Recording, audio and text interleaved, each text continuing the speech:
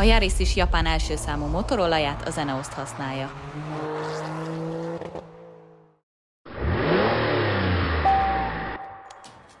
Ford volt olyan jó arc, hogy kihozta az összes Mustangot, amit valaha gyártottak. Ez itt a 64-es, tehát az első modell, ez itt most konkrétan egy 67-es példány, de ettől tekintsünk el. Onnan ismered föl azokat a Mustang tulajokat, akiknek el kell kerülni a társaságát, hogy amikor azt mondod, hogy 64-es, akkor kijavítanak arról, hogy 64 és fél, mert hogy a 1964-es év felénél kezdték gyártani az autókat. Hát számoltak ilyen 100 ezer darabbal, évvégéig elment 418 ezer darab, és egy év alatt 1 millió Ugye sokan hivatkoznak rá úgy, mint muscle de ez tévedés, ez nem muscle ez car, vagyis egy megfizethető, sportos, V8-assal szerelt kupé, jellemzően inkább fiataloknak.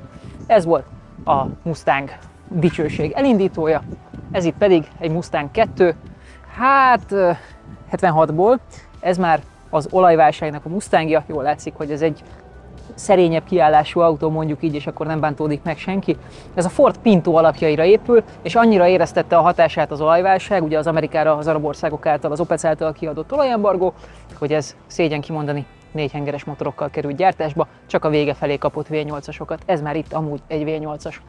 És akkor, hogyha tovább megyünk, a következő autónk a 3-as Mustang, Volkswagen-nak az első szériája, már a második szériánál kapott egy kicsit a későbbi Sierra-kra emlékeztető orrot, ez már egy új platform, tehát nem az első két Mustangnak a tovább fejlesztése, hanem egy, hanem egy új platform, ugyanúgy megtartották a merevtengelyt, és ugye itt jelent meg a máig használt 5O, azaz 5.0 jelölés, ez az 5 literes V8-as router, ez a legsportosabb változata.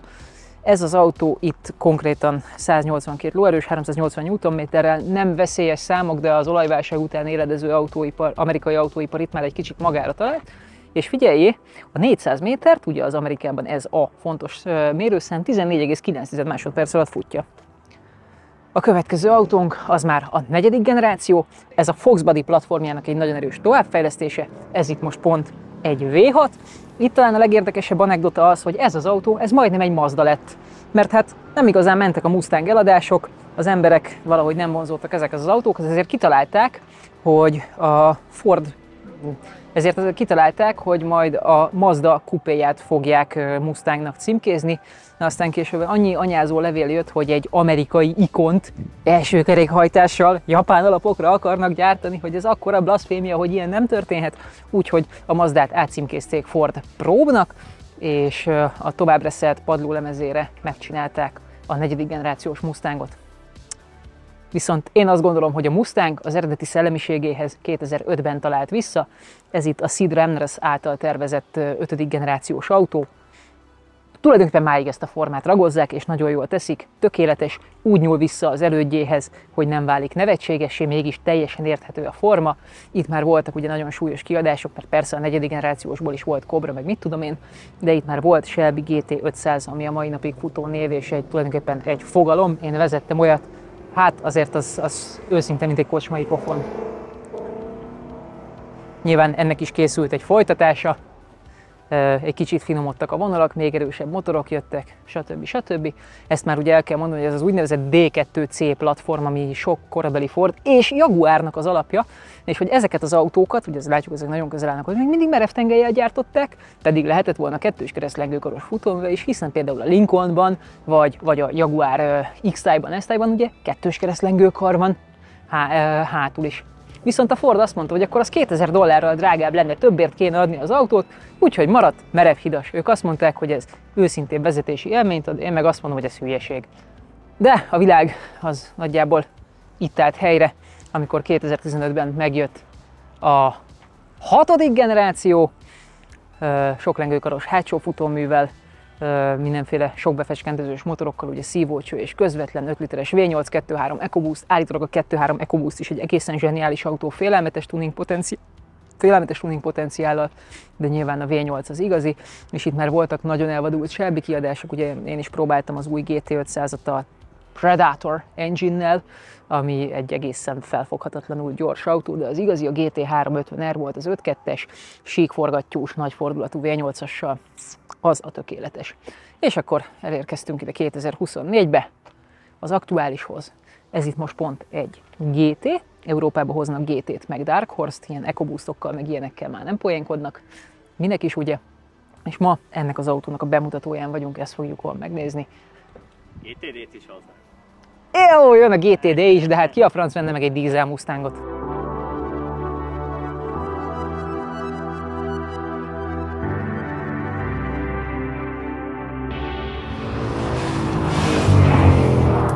Kicsit pattan, és akkor lehet kicsit lendületesebben menni. Ami fontos, két-három autó itt nem egy kicsit távolság legyen az autók között. Van tüdő? Igen.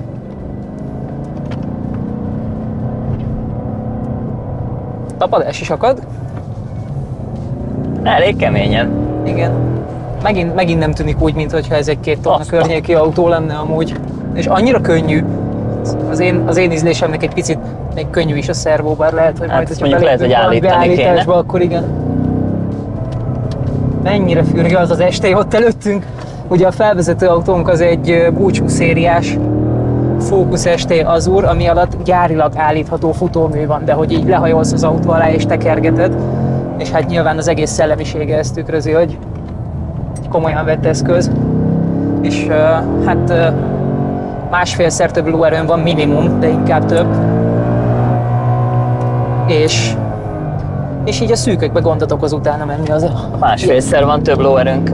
Igen, meg másfélszer van több lóerőnk, meg súlyunk is. De igen, igen. Hol vannak a többiek? Nem tudom, ők. Az De mi csak egyedül megyünk? Nem tudom, ők nézelődnek. Jó ötlet volt az első autóba ülni. Mondtam. Elképesztő. Igazából már az előző is éles volt, tehát a, ez, ez ezt megelőző ötödik generációs autó, ugye ez most már, nem bocsánat, hatodik generációs Mustang, de ez most, ez most egy nagyon radikális szintlépés, bár egy picit azért csalóka, hogy a Dark Horse-ban ülünk, nem a mezei GT-ben. Igen. Mert hogyha az előző, én nagyon sokat mentem az előzővel, mentem vele versenypályán, mentem vele országúton, nagy túrákat, ilyenek. Ahhoz képest ez, ez, ez, ez egy komplet nagyságrendel komolyabb autó, és itt ugyan Béla nem tért ki rá, de hogy ez erősen egy ilyen úgynevezett carry-over, tehát hogy a, a D2C platformnak egy, egy további fejlesztése, de ezekkel a Dark Horse motyókkal, ami hát nyilván a futómű, meg a meg a hűtőcsomag, meg a módosított motor, meg ilyenek. Ezekkel azért ez egy, ez egy, ez most egy nagyon, hát hogy mondjam, elég messze vagyunk az eredeti Mustang szellemiségtől. Most már, ez most, De ezzel a GT-től is. igen, Tehát, hogy ez, ez mindenképpen följebb van, mint a GT. Nem tudom, talán egy 1, bár az sem volt ennyire kemény az Á, a előzőből. Mach 1 az, az nem volt ennyire. Kicsit melegszik most már, de számomra amúgy meglepő, hogy pont ez alá került a, a, a Torzen Sper, tehát ugye a csigás diffi, még a egyszerűbb GT változatban van a lamellás, ez jellemzően amúgy fordítva szokott lenni, tehát hogy a, a komolyabb modell kapja. Mennyire hamar jön a tiltás, Tényleg jó a fékrendszer. és nem volt bolya. Megnézzük, hogy nyomatékból hogy indul el így harmadikba. Az a baj, hogy az estén nem látom, hogy erőlködne. Nem, nem. De, de Jenő már egy kicsit úgy mondja a helyzetet, mert ha megnézed, ebbe már így a seggével fordította bele. De rohadt jó ez a blip shift. Az Ez a fékezéskor elemelte a hátsó kerekét belsőn. tripodozunk, tripodozunk. Jó, mondjuk tegyük hozzá, hogy Jenőnek kicsit több köre van ezen a pályán, mint nekünk, mert bár vannak vele élményeink, de azért Hogy megint megáll? dolgozik. Elképesztő, és nem tudom, figyelte, de hogy bukkanó után állunk így meg. Tehát Nem emelkedünk el meg semmi. Á, hogy manuálisan állítjuk a pocket Manuális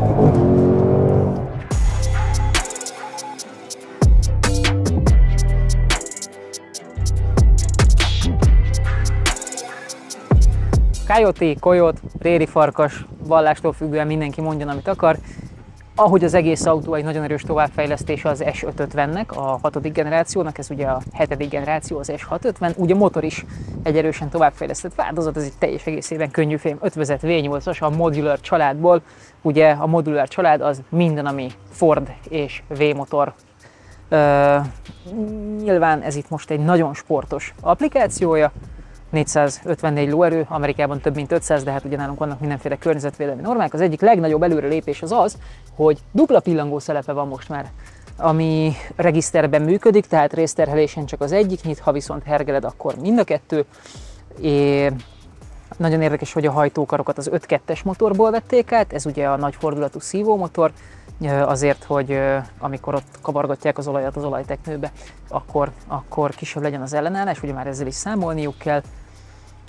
Ez egy nagyon jó hangulatú, nagyon széles tartományban terhelhető motor, ugye akár csak a hatodik generációban itt is megtartották a szívócső és közvetlen befecskendezést, ami ugye csodálatos ebben a motorban, hogy könnyű, 205 kg, Béla itt emlegette, hogy amikor az 1.6-os szívóbenzin, tehát az öreg vasblokkot kivette a Sierra-ból, ugye vasblokk, vashengerfej, akkor az, akkor az hát nagyjából ugyanebben a súlyban volt, csak ugye az egy kehes 1.6-os 4 hengeres, ez itt pedig egy 5 literes szívó V8.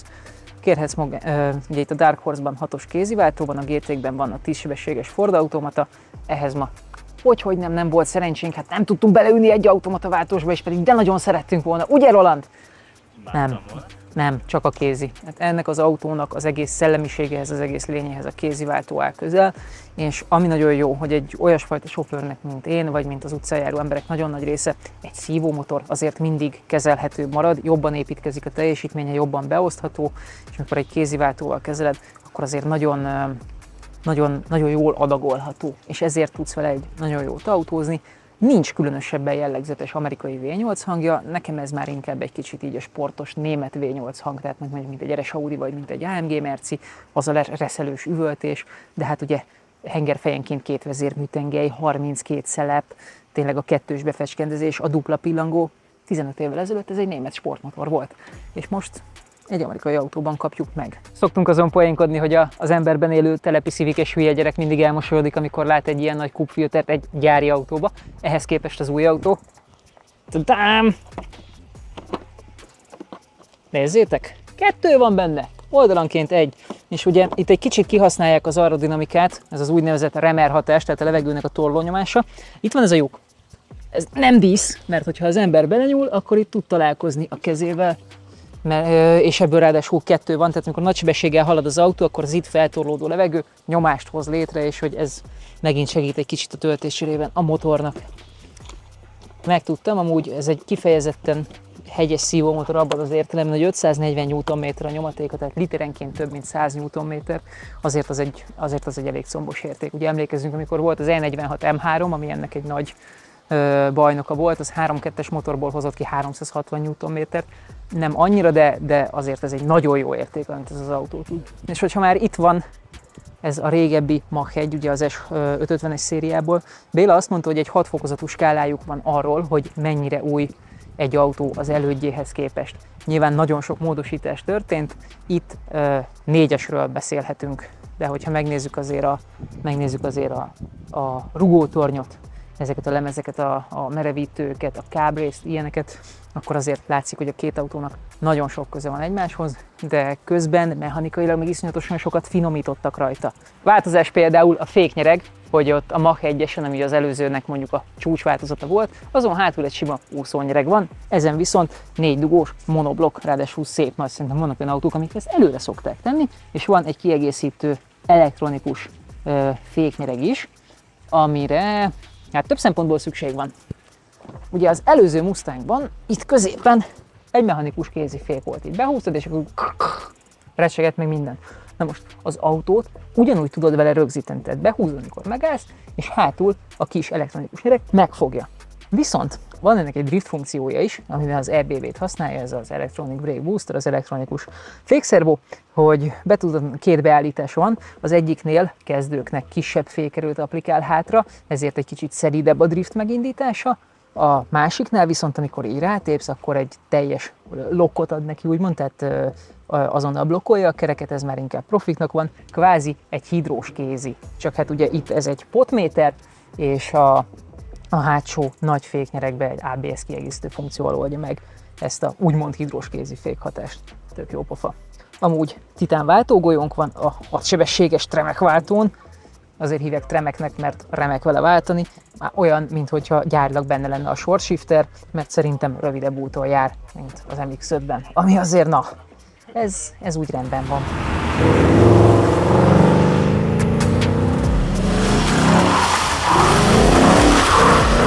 80 méter átmérőjű körpályamodul belocsolva. Lehetőség szerint kérném szépen, hogy a fehér műgyantacsíkot használjátok, illetve a féket az elejében összekötő sávban próbáltok bemaradni. Nyilvánvalóan egy picit ö, lehet tágítani a határokat. Akkor most mehetünk? Egyre a sor végére. Indult a következő. Akkor most megyünk. Hajrá, ügyesen! Mondjuk amilyen hosszú a fokozat, simán lehet, hogy inkább egyesbe kéne hagyni. Hát nézzük meg. Én a, mondom, én az erő miatt gondoltam, hogy Igen. esetleg minek. Jó, ez a gumi. Aha. Igen, mert elég nehezen akarja elrakni. Azaz, azaz, azaz, azaz. Az a baj, hogy ez itt csinálja jól. Tehát itt most Igen. akartam mondani, hogy akkorát perecelnénk, ha erre így rámegyünk, mint az állat. Igen.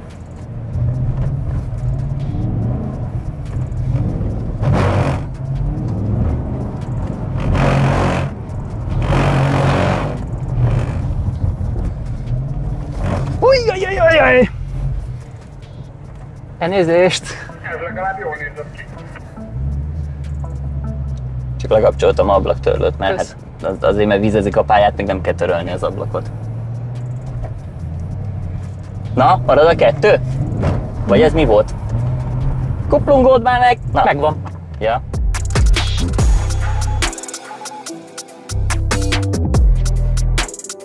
Egyelőre két változattal indul az itthoni forgalmazás, ugye az az 5.0, ez pedig a Dark Horse. Na most szerencsére itt van Egy Dark Horse is, meg egy 5.0 is.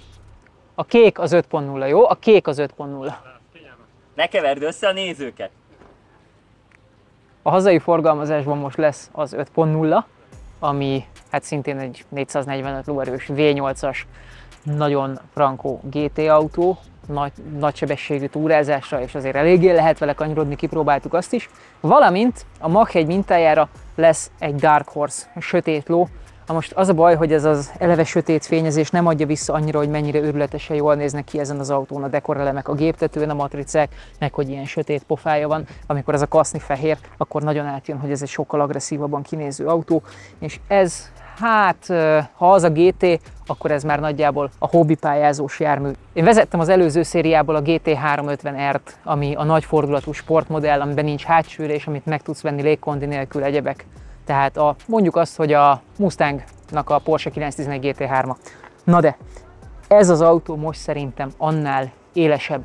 Virgoncabb a kanyarokban, jobb a tapadása, jobb a futóműve, és tudom, hogy az papíron több mint 500 lóerő volt, de ez meg érzésre, mintha még annál is jobban is menne.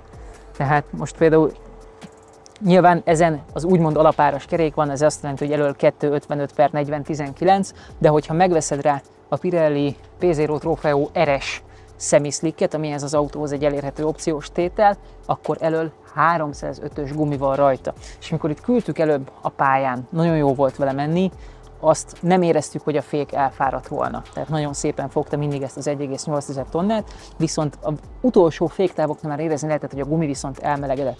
Biztos vagyok benne, hogy ha az ember megveszi le erről a 305-öset, akkor ilyen probléma nincs. Akkor ilyen probléma nincs. Az én ízlésemnek a kormányzása egy kicsit könnyű, egy kicsit halott, olyan, olyan BMW-sen jellegtelen, viszont az autó pontossága, a stabilitása, a futóműnek a mozgása, meg főleg a motor karaktere az utolérhetetlen. 24 és 29 millió forint között mozognak az árak, Igazából, ahogy az előző modell is az volt, ez is egy Best Buy. Más ilyet nem, hogy ennyiért, de még igazából többért sem kínál.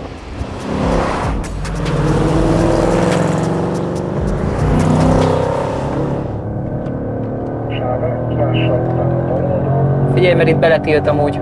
És van blip, tehát csak visszatépett kettőbe és aláról. Balról sikán. Jön a jobbos. Hát ez nagyon durva ez a kormány. Ugye?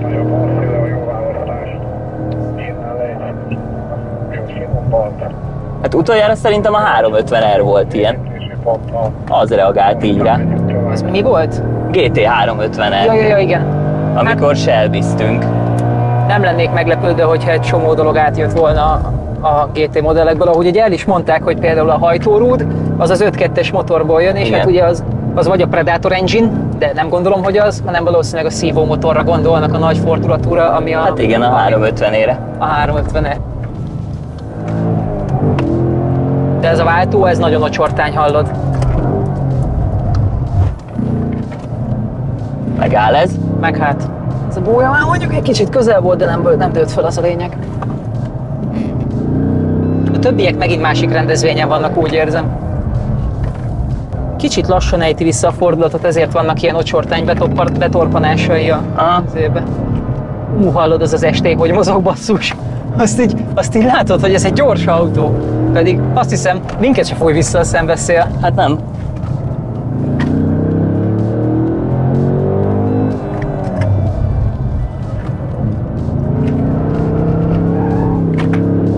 Na de na, Hoppá. mi volt ez fiatalember?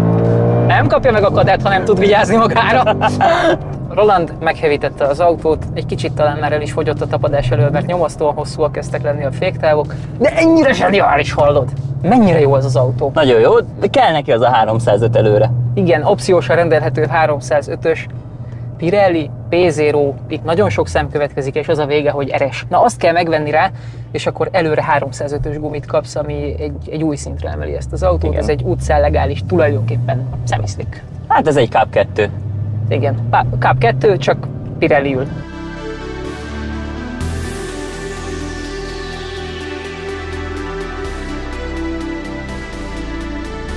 Komolyan gondolták ezt a versenypályás megterhelést, ugyanis a Dark Horse ellentétben a GT-vel kapott egy halomhűtőt, van a motornak egy saját olajhűtője, van a váltónak egy saját olajhűtője, és hogyha ide jössz hátra, akkor még a differenciálmű is kapott egy olajhűtőt, ami itt így látszik. Itt bent, ott vannak szépen alamellek, ugyanis megkeringetik egy ö, kis szivattyúval, és tudják hűteni a diffit. Tök érdekes, hogy míg a hagyományos GT-ben egy lamellás per diffi van, addig a Dark Horse-ban egy ö, csigás torzen. Meg is lepődtem ezen, állítólag azért, mert ennek ö, jobb a hőtűrése, tehát hogy ez kevésbé melegszik, mint egy lamellás differenciálmű. Természetesen modern autóról beszélünk, tehát ilyet sem tudsz már venni kismillió módválasztó nélkül. Mindjárt remélem behozza nekünk úgy is, hogy, hogy nem indítom el, vagy nem. De a lényeg az, hogy itt a módválasztóval tudunk kirándulni. Hát kénytelen vagyok beindítani. Ünnep, amikor egy V8 beindul, főleg 2024-ben. Szóval van egy remek módválasztónk, amivel tudunk lépkedni. Sport, track, dragstrip, nyilván ez tartalmazza megint a gumimelegítős módot, ugye ezeket a gegeket nem hagyják ki, itt van az animáció előttünk, csúszós úton, itt gondolom ad nekünk egy ilyen nagyon benyugtatózott gázreakciót, hogy ne akarjunk megpördülni, meg hát nyilván magunknak is programozhatunk fel egyet, és amit nagyon szeretek, hogy a műszerfalnak az animációja változtatható, és, és, és, és Cluster M, van neki egy klasszikus, amit úgy hívnak, hogy Foxbody 8793. Ez az előbb itt parkolt fekete Foxbody-nak, illetve annak a későbbi változatának, mert az ugye egy korai volt, a 79-től gyártott. Szóval, hogy a klasszikus Foxbody-nak a tipográfiáját és műszereit teszik elénk, ami egy, egy nagyon szép tisztelgés, meg egy jó pofa visszautalás, nyilván tehetünk be versenyre. Sajnálom, hogy a 67-esből nincs benne. Igen, egy 67 Jó körműszer. körműszer szép hosszú mutatókkal nagyon adná. Van egy versenypályás is, ahol az első 4000 fordulat az így 3 centin van, és a felső 5-től 9-ig az meg ekkorán, hogy jól lásd. Amúgy kifejezetten hosszú, azt nem tudom figyelte, de hogy 120-ig tart a kettő. Azért az, Nem volt az időm. nem gyakori. Igen, és ez már rövid, régen voltak ezekhez hosszabb váltók is, amióta bejött ez a versenypályás dolog, azóta kerülnek alájuk ilyen rövidebb váltók. BVI szállítja be nekik az aktív futóművet, amiben van ilyen kátyúszkenner funkció, tehát hogyha az első kerék beleesik a kátyúba, millisekundumonként figyeli, hogy hogy mozog, és a hátsó kereket is felkészíti ugyanarra a kátyúra, hiszen ismeri a tengelytávot, meg az autónak a sebességét, meg persze versenypályán, amikor lesatúzod a féket, akkor nem hagyja annyira előre billenni. Egy csomó-csomó hasznos dolgot tud, hát ez egy, ez egy modern aktív futómű, ők szállítják be a ferrari is. Nyilván a Ford a saját hangolása szerint használja, de az el valószínűleg megegyezik. Kényelmes Recaro, vagy ahogy felénk hívják, Ricardo, meg lehet ezt az autót venni hagyományos, ilyen külön fejtámlás üléssel is. Ennek most így az én alig 70 kilomból kiindulva ennek jobb az oldaltartása, volt, aki erre már panaszkodott, aki egy kicsit mondjuk így hasban vagy, vagy melkosban szélesebb, hogy ő már nem tud kényelmesen ülni ebben az ülésben. Szerintem perfekt, hogy ezzel az autóval most már tényleg nem csak azon, hogy kipróbálod a versenypályát, majd megijedsz, hogy úristen, nem bírja, és soha többet nem csinált, hanem ezzel most már egy reális dolog, hogy kijársz vele versenypályázgatni. Ami, ami most, hogy így vezettem az első generációs Mustangot, ez egy nagyon-nagyon távoli dolognak tűnt onnantól. De hát 60 év. 60 év telt el, 60 év csinálják ezt az autót, volt azóta szép, csúnya, rossz, nagyon gyors, nagyon szép, mindenféle, de, de megint el lehet mondani, hogy ennyire jó a Mustang, mint ez a 2024-es Dark Horse, sportautó értelemben legalábbis még nem volt.